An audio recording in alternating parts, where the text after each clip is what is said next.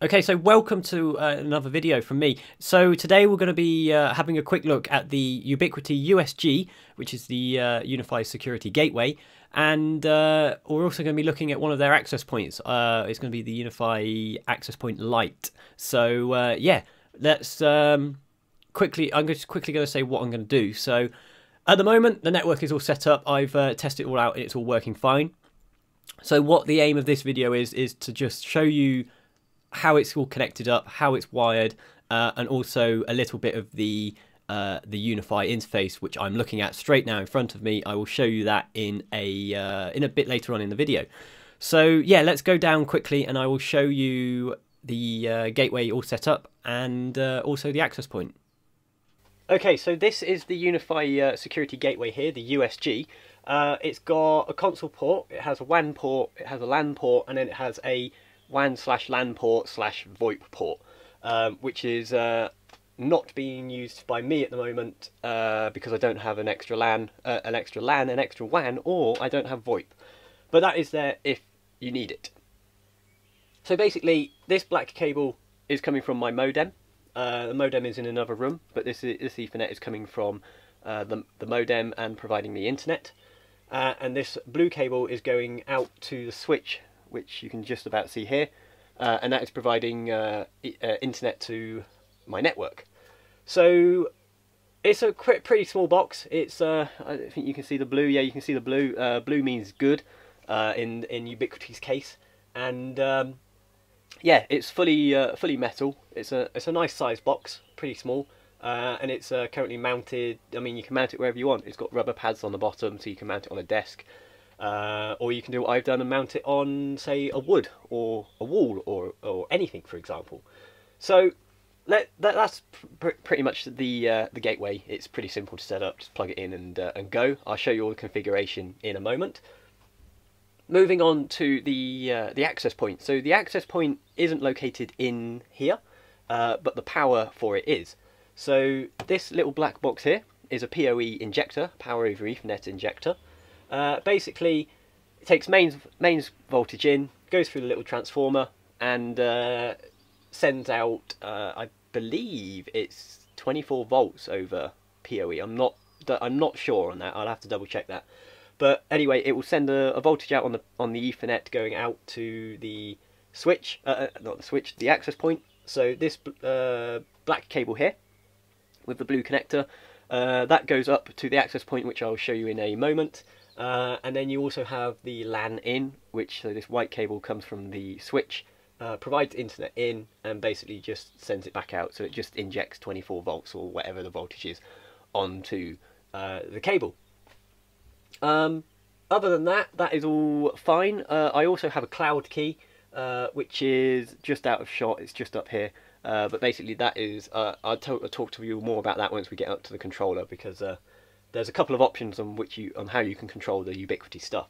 So this is basically the setup of in here. Uh, let's uh, just quickly show you the access point and then we will go into the configuration.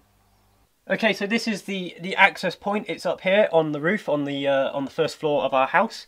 Uh, this so that cable which I showed you before coming out of that little black PoE injector, it runs through the house uh, and pops out of the ceiling down here and plugs into that. There's no other power cables you need. You literally just need one Ethernet cable uh, with PoE capability on it, um, plugged into that thing. So that is basically taking power. I mean, it's so easy to set up. Wherever you need to put one of these things, just run an Ethernet cable with PoE on it and um, plug it in, stick it to the roof, and you're good to go. So let's go and have a quick look at the configuration and uh, talk about it a bit more. Okay, so here we are looking at the Ubiquiti interface. So this is where we control everything. Um, so I mentioned briefly about the cloud key. Uh, there are a number of ways in which you can run this software. So to control any of the Ubiquiti UniFi stuff, you need the UniFi controller. Now you can run that on a computer, uh, which is running 24/7. Um, or you can buy one of the cloud keys. Um, for us in the UK, it's about seventy pounds or so off Amazon, um, and basically it's a it's just basically a, a, mini PC like a little Raspberry Pi sort of thing, uh, compacted into a, a, small box, and uh, you can just plug that into your Switch and you can uh, access it via the uh, unifi.ubuntu.com,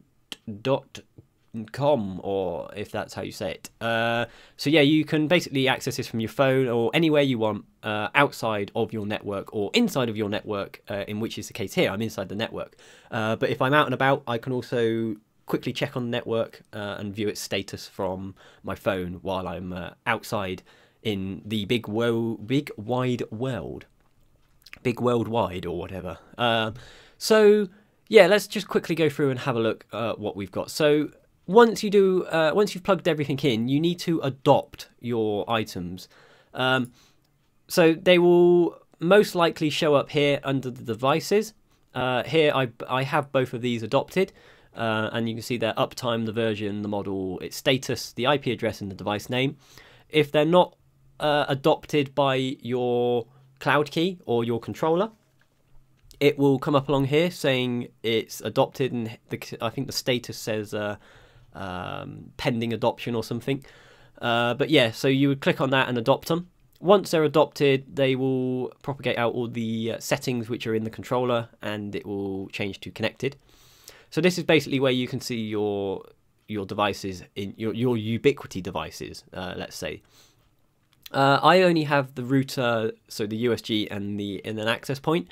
I don't have the switch yet uh, because the switch is uh, pretty expensive and I can't afford one of them at the moment unless Ubiquiti wants to give me one to try. Um, hint, hint. Anyway, let's have a quick look at the uh, the USG router. So as I mentioned before, you have uh, there are actually four ports if you remember. One of them is a console, and you can't use that to. Uh, you just use that basically uh, for physical connection to the device to uh, diagnose and configure if you want to do it via uh, command line. We're not going to be doing command line here today. We're just going to be doing it all via the uh, controller. So you can see the WAN uh, the WAN actually is orange. Uh, that doesn't mean it's not working. It just means uh, it's got a uh, it's on a, a, 10 by 100 connection. Uh, that is only because the modem isn't a gigabit modem, and it wouldn't matter anyway if it was because our connection in the in this house is only 50 meg, so that's fine. The LAN one port is labeled as a gigabit because that is a. I mean, all of these ports are gigabit capable. Um, and I have a gigabit switch, which is why this is la- this is shown up as green for gigabit. Uh, you do have two others, so you have disabled. Um, so yeah, I'm I'm not sure if LAN two is even um, used at the moment in the USG. Uh, it might be there for future expansion. Just I'm just going by the it's sort of hinted that it is disabled. Uh, it doesn't say disconnected, so I'm not sure if it actually is implemented yet. Uh, don't quote me on that. It could be implemented by now.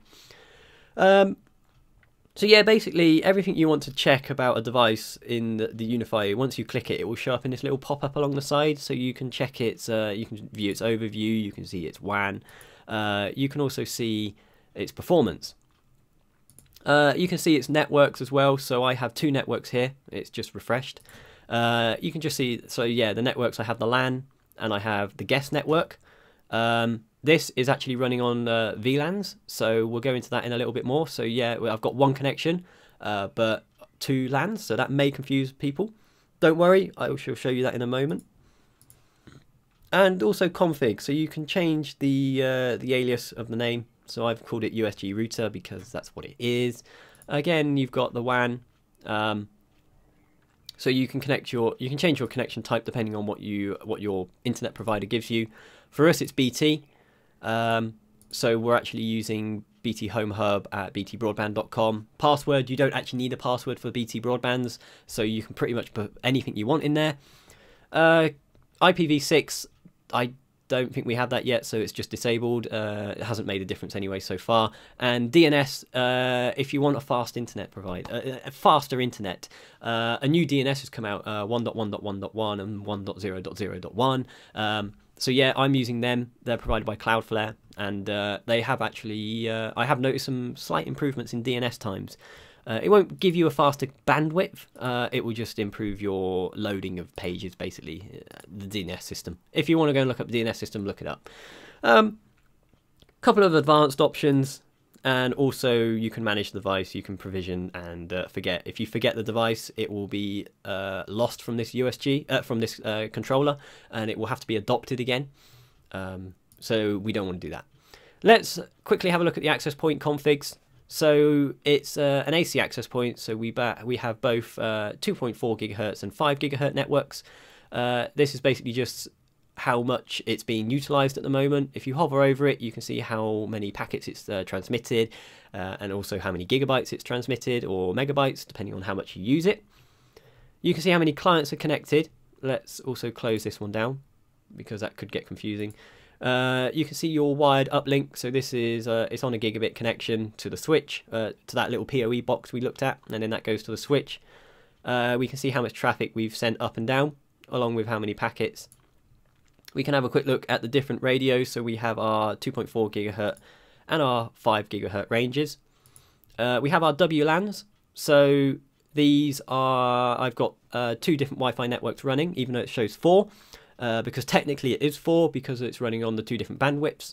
So we've got these two here, which are running on the 2.4 gigahertz bandwidth, and these two which are running on the 5 gigahertz bandwidth. Again, I will show you all this setup later on.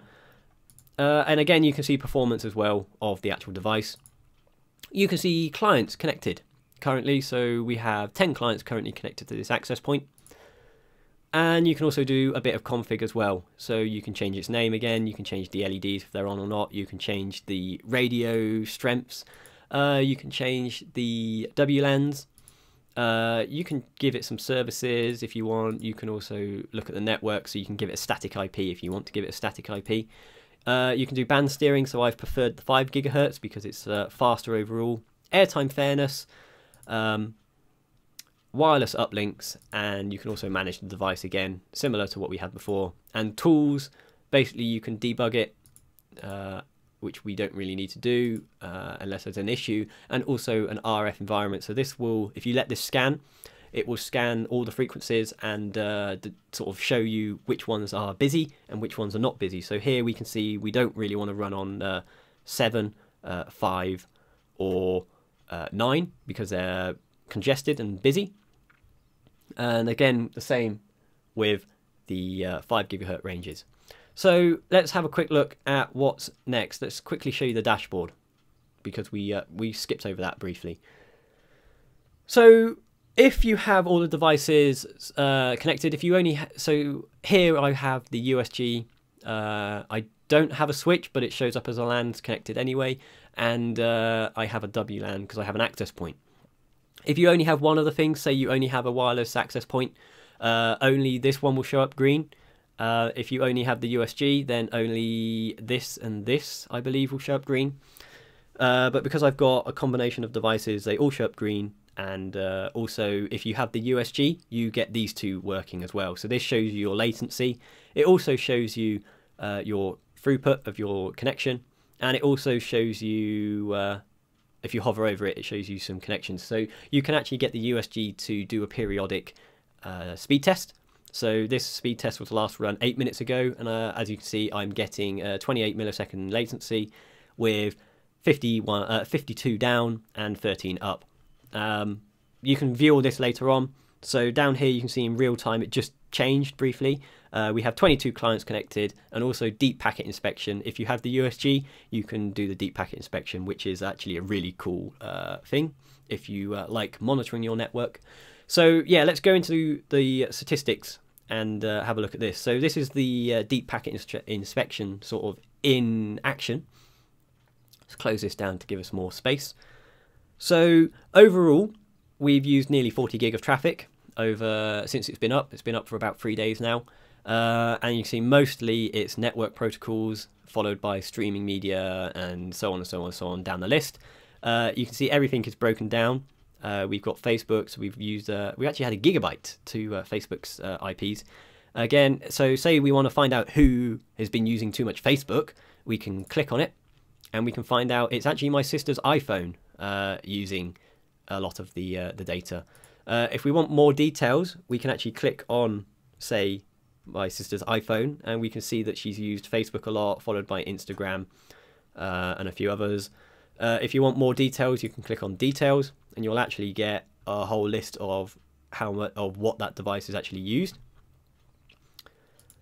Um, so you can also view it by users as well. So you see my PC is actually uh, the most active on the network, followed by my Shield TV. Uh, and again, you can break it down by apps as well. So this is actually pretty cool. Uh, I've actually, I, I, quite like this feature. It's uh, pretty good.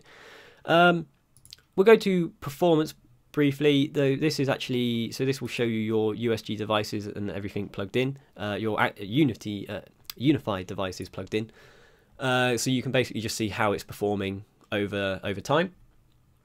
Again, the same for the access point as well. Uh, we'll skip through this a bit quick now because we're we're dragging on a bit. Uh, that was performance. So we want to go to switch stats. I don't have a, U, a UniFi switch. If you have a UniFi switch, uh, stuff will show up here, but I don't have one currently adopted. Speed test stats. So as I was saying before, it can do a speed test every uh, every. I think ours is doing it every 20 minutes. Uh, so it will actually log and so you can view back and see how stable your connection is. Uh, as you can see, my connection is pretty stable uh, at about 52 meg, which is uh, all right for here in a little village out in the middle of nowhere. Um, and I'll quickly just show you the overview because uh, that was the last page we've missed. So we can go to uh, the map. So you can actually list all your devices on the map. you can so if you have multiple areas, uh, you can list everything down here. Um, so if you have a big arena setup or maybe a house setup, um, that's uh, pretty cool to do. Uh, devices we've already looked at, clients. Uh, so here we can see all the clients on the network. So we have our Wi-Fi connections. So these are all on the Wi-Fi and these are all connected on the LAN. You can see the cloud key here. That doesn't show up in the uh, UniFi devices. Um, because it is just basically a client connected, it's just a computer sort of thing running the UniFi software. Uh, also, insights. So, insights, you can see neighboring access points. Uh, so, there's only one, and it's near the upstairs access point. Known clients, uh, these are all clients that have connected. Uh, it also, if you note, it also gives you quick options as well. So, say you want to block someone, you can block them. Uh, and then basically it's just other stats about the system which we don't really need to go into. So let's go into the actual settings and configuration of the whole network. So here we have our site. So our site here is home. Uh, it's in the United Kingdom and we have our time zone of London, Edinburgh, Dublin and Lisbon. Uh, I've enabled advanced features. This is disabled by uh, default. So if you want more advanced control over your network setup, then give that a tick and you'll get some more cool features. Um, I've got automatically upgrade access point firmwares uh, just because it's easier. I don't have to worry about doing it manually. Um, some people could argue that that's uh, not a good thing, uh, but I've just left it on for now. So as I said before, this speed test thing, here you can set it to do a periodic speed test for every however many minutes you want. Uh, between 10 and 49 is currently possible. Uh, I don't know why it's 49, that's a bit of a strange. Uh, but even though it says it's in beta, I've had no issues with it so far and it's been pretty good. Uh, email alerts, I mean, I haven't got email set up, but yeah, you can do all of this. So this is basically that. Let's go to wireless networks. So if you want to create a new wireless network, it's really easy you just click create new wireless network, give it a name, give it its uh, uh, security level. Um, also, if you want to do some extra advanced stuff in here, you can do that. So you can give it a VLAN and everything. Uh, you can apply guest policies if it's a guest network. Once you click save on that, it will add it to this list. It will then uh, propagate out to your access points, and bang, there you go. You've got another wireless access uh, network, which is uh, pretty cool and extremely easy to do. So I have my main network here, which is the main Wi-Fi, which is Smith Wi-Fi. Um, and then I've got Smith Wi-Fi Guest, which is a guest network and it's on VLAN 2. Uh, more on that later. So, well, actually, more on that now.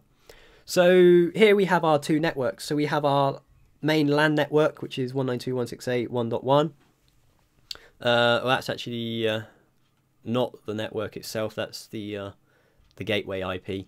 Um, but yeah, then we then we also have our guest network, which is 192.168.2, um, and that's on VLAN 2. You can set this VLAN number to whatever you want as long as it corresponds within the, the network itself. So basically, let's have a look at our guest network. So we've given it VLAN uh, 2.